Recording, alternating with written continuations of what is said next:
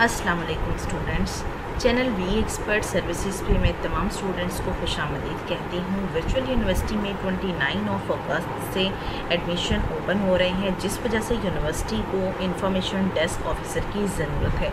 नीचे तफसीलात कैंपस की डिटेल कैंपस के ईमेल और जितनी पोस्ट आई हैं, उन सब की तफसीलात ये आपके सामने दी जा रही हैं। 34 पोस्ट हैं।